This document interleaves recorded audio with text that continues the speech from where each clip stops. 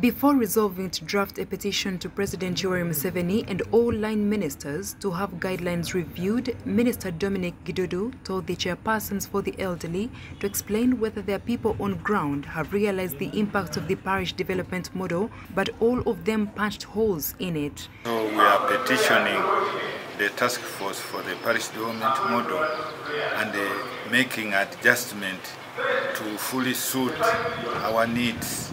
They revealed that elderly groups at all levels have not been involved in the parish development model program. And uh, together with the Eastern, Northern and Central, we reviewed and realized that uh, our interests of 10% are not being handled the way they should. Chairpersons from various districts resolved to petition the President and the Minister for Local Government. It's going to be successful as long as it, the, the, the, categories of special interest groups are separated. It shouldn't also be only for, for the elderly. I think it can also be for all other, others, women, youth, the disabled.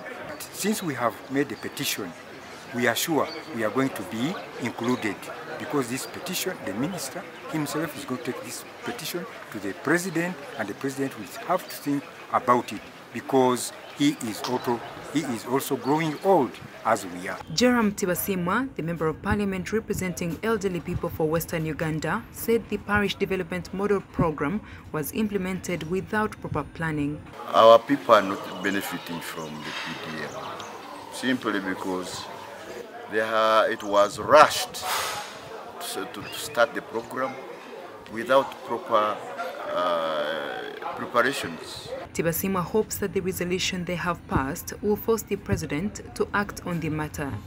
It's, it's a political resolution, and once we pass it, the minister responsible will be forced to apply it. So this resolution, uh, it's not only for, for Western region, the resolutions have been made uh, in, the, in, in other three regions. The meeting was also intended to disseminate new guidelines for special enterprise grant for older persons, where about 500 billion shillings has been earmarked to help elderly groups in the next five years.